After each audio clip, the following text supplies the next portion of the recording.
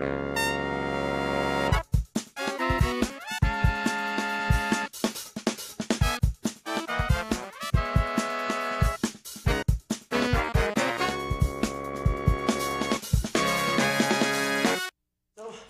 the sidewalk outside the restaurant after our cappuccino. he took off. I opened it up and I read it, and I'm sure you'll be stunned to hear that it is utter mindless, soulless, uninspired, unoriginal, bereft, soul sucking crap. This is Theater Talk. I'm Susan Haskins. The Scene is a sharp, perceptive, and laugh out loud funny comedy drama of manners, now at second stage. We're very pleased to have its star and playwright here with us on Theater Talk, and to introduce them, my co host, Michael Riedel of the New York Post. Teresa Rebeck has always been a favorite playwright of mine. I loved her uh, play. The first one I think I saw years ago called The Butterfly Collection. She is also the author of Bad Dates. And as Susan said, she has a terrific new play called The Scene, now at second stage. Welcome to Theater Talk, Teresa. It has a brilliant performance by Tony Shalhoub. Thank you. Known, of course, to everyone as Monk, but known to me as the star of a wonderful play that I loved, Conversations with My Father, years ago on Thank Broadway. you. Welcome. Um, uh, all right, Teresa, this is a kind of sharp dissection of um, upper middle class life in Manhattan today, centered around the showbiz world. You live in Park Slope, you've written for television. It seems that you're writing something that's kind of close to what you know. Is that a fair assessment?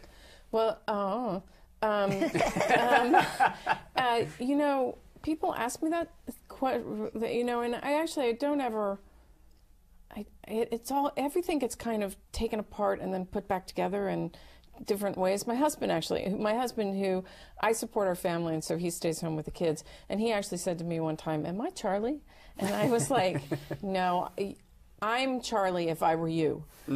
Um, and so sometimes things like that happen. There, there are moments in the play, like uh, there's a big rant at the end of Act One uh, about a, a sort of terrifying lunch that Charlie has. That I actually had that lunch. You know, so there are bits and pieces of my life that get tossed into it in a sort of soup-like way. Now, we should say that for, for people who haven't seen the play, uh, it's about um, an actor, Charlie, Charlie, right.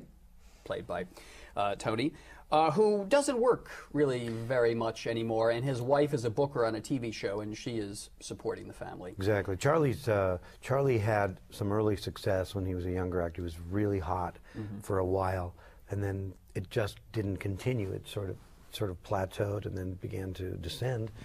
And so, and he's very, very frustrated with that. Um, I like to think, in, in terms of my backstory, that Charlie had some opportunities along the way, but just refused to. Thought they were maybe too commercial and didn't want to sell out, and then missed a few, missed a few boats, and um, and then found himself just left on the pier for, for years. So so he's he's frustrated with, with himself. He's frustrated with the way um, the, the the show business, the industry has has kind of evolved. And, and this is where we find him at the start of the play. Yeah, I mean, he's suffering from the disease of bitterness. Y- Yeah, so in that sense, it does come from my life. Can you? And also, he's a tad narcissistic.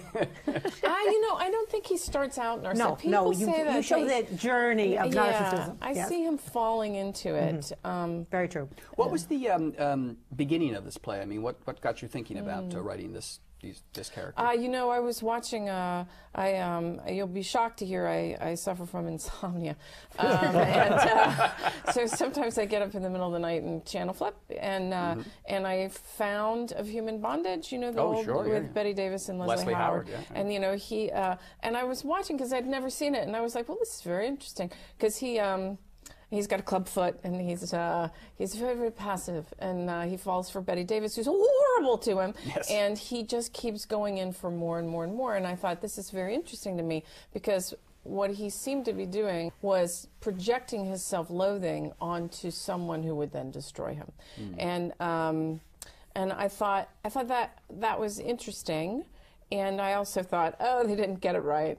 Somerset Maugham, what does he know? Um, and I thought that self destruction is a more ferocious act. I thought, you know, and I also thought from what I see of the culture that we live in, especially the showbiz culture, that it makes us all despise ourselves, you know, that we're constantly going, you know, this this is actually one of the reasons I we, we were talking before the show started about how we don't look at re- reviews. I don't read Variety, I, you know, because you just look at that stuff and you just feel like a failure.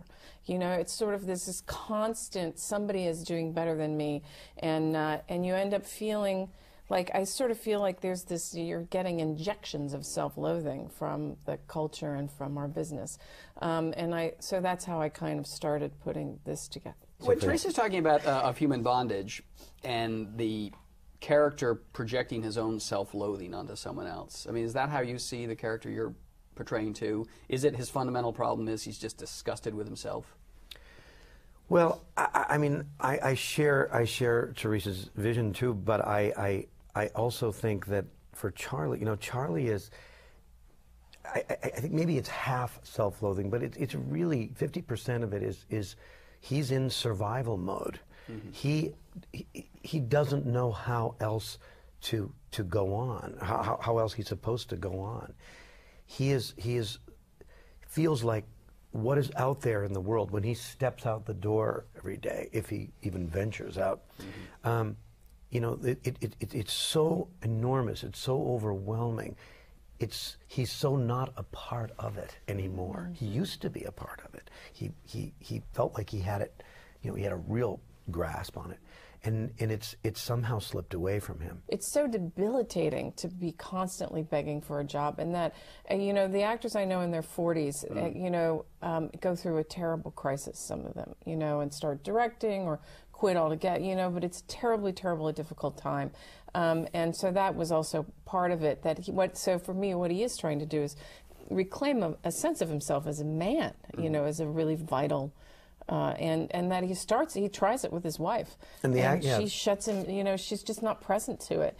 And so um, yeah. Well, the challenge for an actor is because you mentioned, well, do you think that, do I think that Charlie is just in self-destruct mode? But uh, as, as you know, we often hear, for an actor, you know, you, you always want to make a positive choice. You, you don't want to make the negative, Right. you know, um, act. You, you, you can't make a negative active choice. So I, I try, I try to keep Charlie in that positive mode. He try, he appeals to, to Stella, to his wife. Let's l- shut up about your TV show. Shut up about that stuff that not really. Of, I believe that Charlie thinks that, that Stella's job as a booker on a talk show is beneath her, really. Right, right. That maybe that the two of them were, you know, idealistic when they were younger, and they were going to sort of set the world on fire Right. and all of that. And then, as happens in our culture nowadays, people settle and they have to survive. Yeah. So they do a job. There are practical considerations in life that, in some ways, she has allowed him not to have to even bother with by supporting the family. Exactly, but but While she simultaneously, I mean, like the tragedy of the, the marriage is that she really thinks the best thing for him would be to get a job, to feel better. And so she's shoving him to go suck up to this guy he hates. You know, it's just, it's, she thinks she's helping him. She's a little rough with it.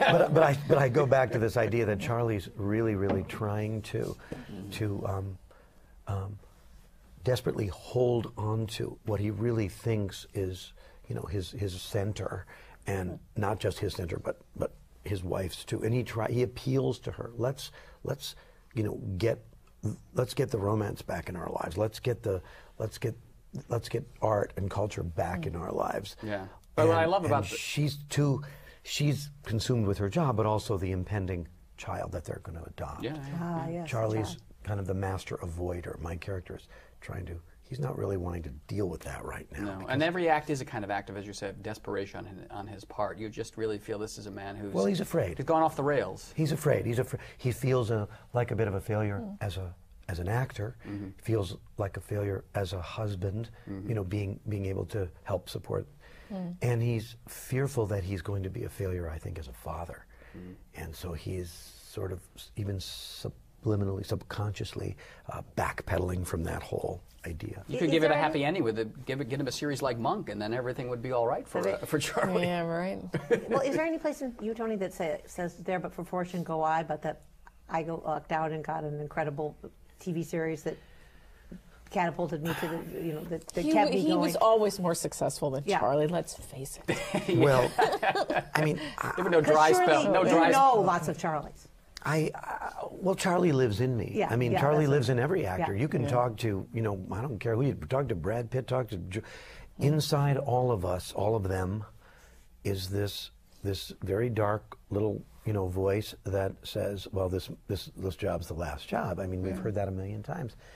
It Yeah, doesn't go away. Yeah, I don't care who you are, and um, so so there is a there is a, a specter of Charlie that, that, that floats around in my head. You had a run on television writing for CSI.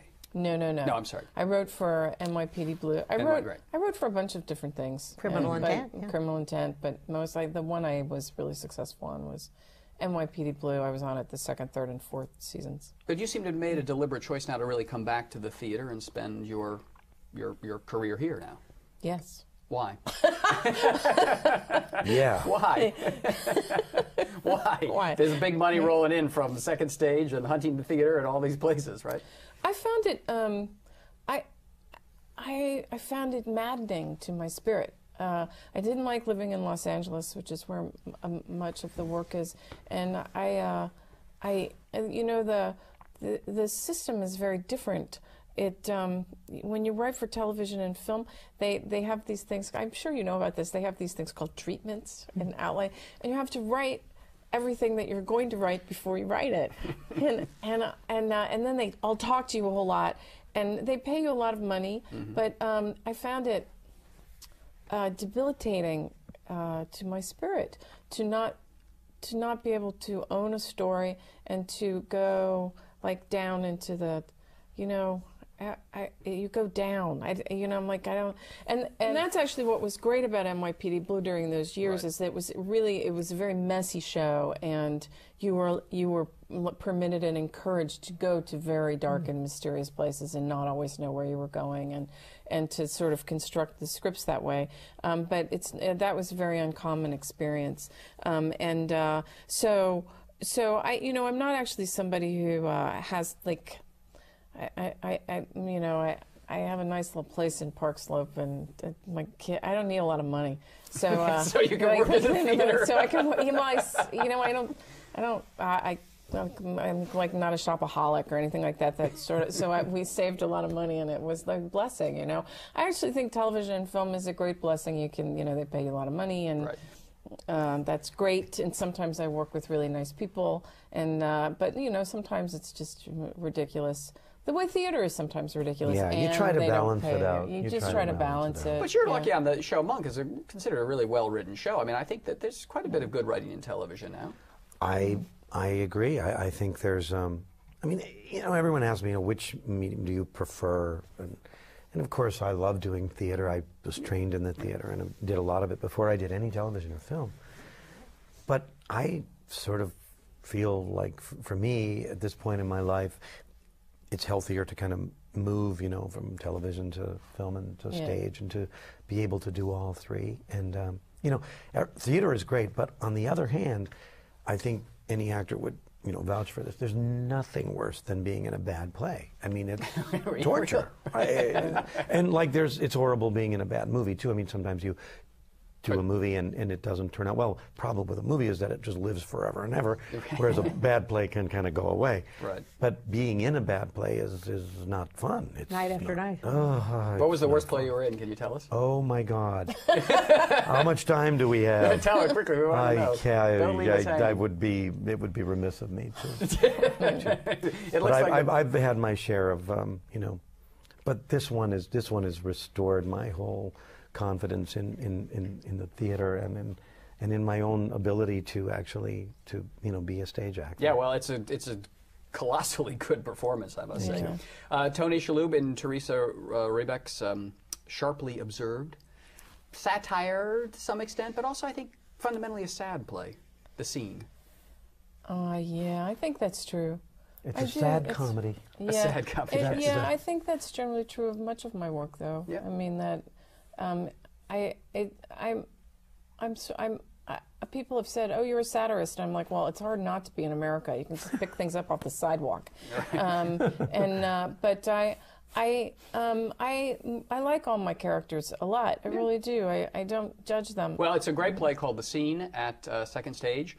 Teresa Rebeck, Tony Sh- Shalhoub, thank you for being our guest tonight on Theater Talk. We appreciate Pleasure. it. Look, I, I want to have compassion for these people. I just feel Stella. bad. I feel bad that they think it's a good thing to do with their time, right? To be the studio audience of some stupid talk show. Honey. Because they think that that means something.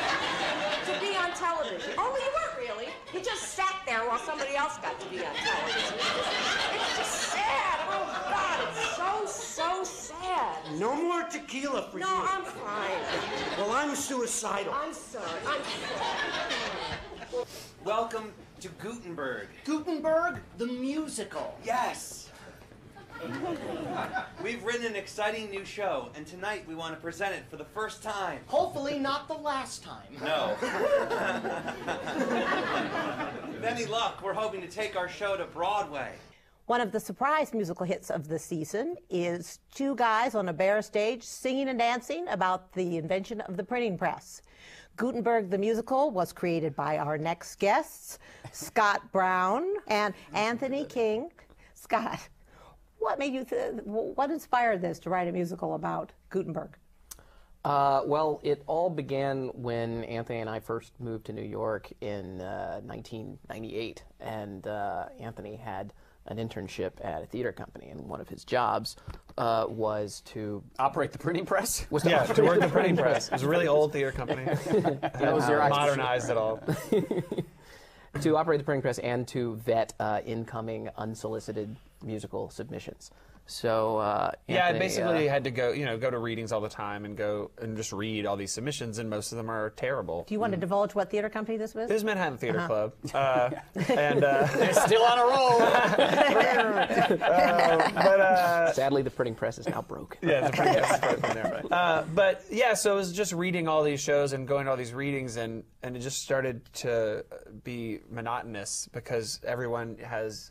It's amazing number of people have like a musical about Lizzie Borden, uh, and of course all the vampire musicals and all that stuff. So, uh, so I said to Scott, like, let's write three songs from a musical, the worst idea we can come up with, um, submit them under fake names to my, my boss at Manhattan Theater Club and just see what he says. And that's kind of how And it how started. re- and how did he respond? And you said, you know, well, the w- most bizarre idea is to write a musical about Gutenberg and his pretty Right, because you're like that's such a non-event. It's Yeah. not even like an, a moment in history. It's, Well, I'm sure it was spread out over Yeah. many. I mean, it's, you it's a, it's a it sound crucial moment in important. it's an important moment, but not Crucial very yet musical. impossible to crystallize. Yes. Like, Right, just right. like So you submit this material, and what is your boss's response? Well, we to it? actually never submitted it because we started having fun writing it, and, and then it started turning into a show. And from there, we actually created the alter egos of Bud and Doug, who are these guys who wrote the show, and it started building from there into this backers audition. Uh, So, so for people who haven't seen it, though, just give us a sense. I mean, it's really not about Gutenberg. yeah, it's not really his about press. about Gutenberg. no, It's it's, about- it's about the guys who, and who write it, Bud and Doug. These uh, you these- guys, I assume, right? In some ways. I'd say there's something of us in Sadly, there. probably true. In, the, in that we were like trying to write a bad musical and then ended up getting seduced by our own bad art and saying, let's let's finish it. Oh man, let's keep going. And and you, you played this in this music for for a while, We did. We were the original Bud and Doug, uh, mostly because it was the easiest way to get it up. and then you. yeah. But then it was a big hit in London. Right, and we went to London and, and did it there, and, and it did really well. And then we came back here and hired Chris and Jeremy. Christopher Fitzgerald and Jeremy Shamos. Shamos. And now you're at the Actors Playhouse, Yes. Playhouse for an extended run. Um, what you, you spoof many of the musical conventions.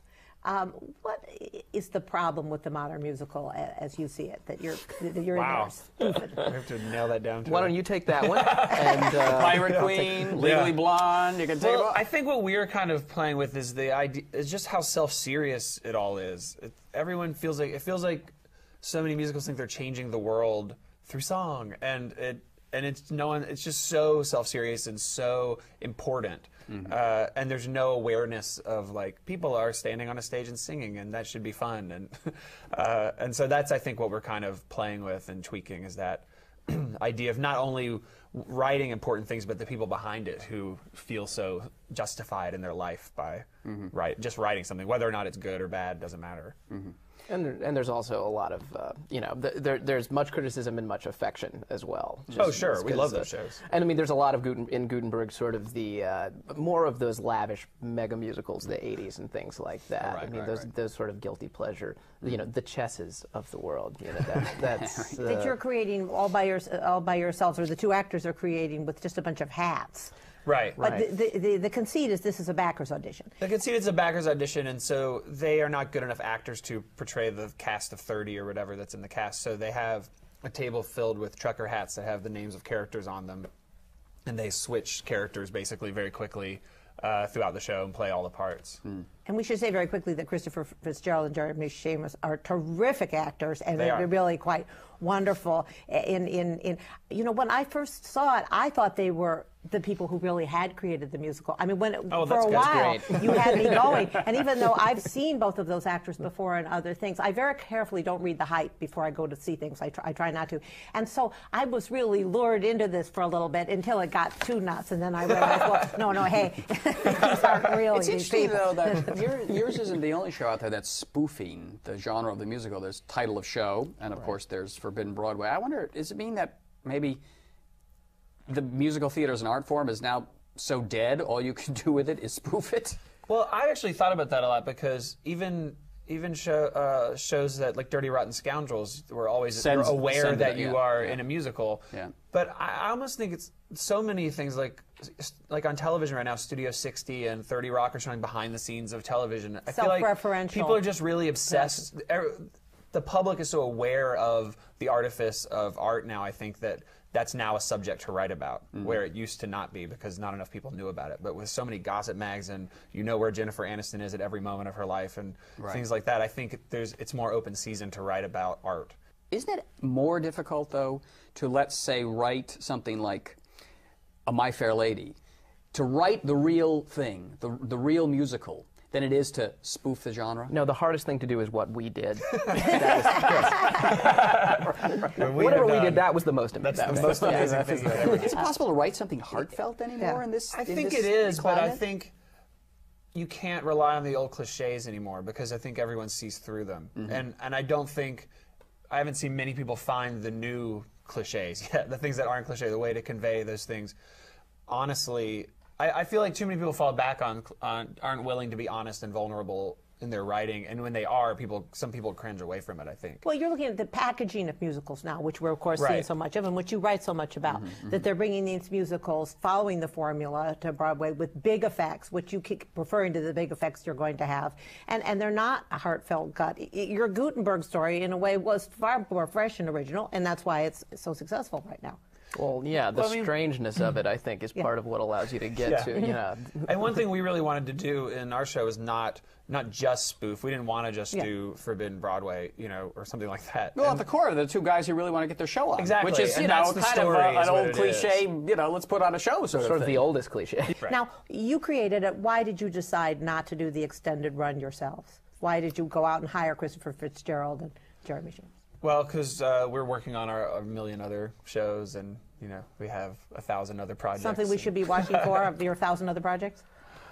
Yeah. Um, they're, they're, they're all in. Doing early- rewrites on the Pirate Queen. That's right. Exactly. It's interesting to me that you guys are both young and making a. Li- I guess you're making a living now in the theater. It's a rather unusual position to be in. One keeps hearing, you know, from my perspective, that there's no way for young people to get into the theater and make a living, and if you do, you wind up going off to television where you write and you can make a, a, a nice income. So you're leaving, right now. You have one yeah, success. exactly. that's it. That's the Uh, hope, actually. bye-bye. is to leave theater far behind. and How did you draw attention to this? How did you get it up and running? Uh, we did it at the Upright Citizens Brigade Theater, and we performed it for about a year there, like once a week, Mm-hmm. um, and kind of built some recognition that way. Uh, and then we did it in the Music Theater Festival in 2005. It was, that's it was where still then a, shor- in a shorter form at that point. It was point. a one act at that point. point, and then that's where uh, Trevor Brown, who's the producer, saw it or, and found out about it and brought us, ended up bringing us to London. If we wanted to see you at the Upright Citizens Brigade, are you still performing? Uh, yes, I perform there every Saturday night in a show called As Seen on TV. Yeah. Uh, at 10:30 every Saturday night. And where is it? Uh, Upright Citizens Brigade Theater is on 26th Street and 8th Avenue. And this is yet another thing spoofing the genre of of television, yeah. basically. Yeah. And and you? I uh, mostly sing in the shower right now, but I, I look forward to gloriously returning. And you're We're- at Entertainment Weekly affecting our culture. Exactly. I'm, I, I prefer to affect the future culture, yes, behind the scenes in insidious and horrible ways that you'll never even know until it hits you. All right. Well, you guys, much success with Gutenberg the musical. And it's playing. Uh, at the Actors Playhouse. You see, you have to learn to plug, plug, Yes, plug, like Susan plug. does. The blog, the this, the that. At the Actors Yes. Playhouse, Gutenberg the musical. Guys, thanks for being our guest tonight on Theater Talk. Thank, Thank you so much. Gutenberg, comma, Johann. German printer born around the year 1400